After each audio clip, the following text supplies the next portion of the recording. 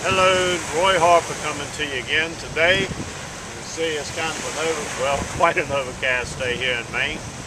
Uh, well, what we're going to do today, ferry coming in, we're getting ready to get on that ferry.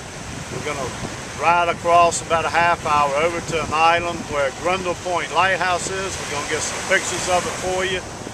Uh, it's not going to be the best pictures we've ever gotten for you, but they're going to be good pictures. We promise you that. You see the water's a little rough. Uh, the ferry's coming in. We're getting ready to get on it probably in about 10, 15 minutes. Ride on over. It's about a half hour ride over and a half hour ride back. But we're going to spend about an hour on the island. We'll be landing right by the lighthouse, Grindle Point. Look guys, thanks for coming. Thanks for keeping on coming back.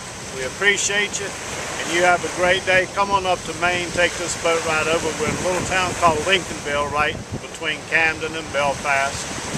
Very gorgeous part of the coast of Maine. Come on up, visit with us, and thanks for coming back again. Take care now. Bye-bye.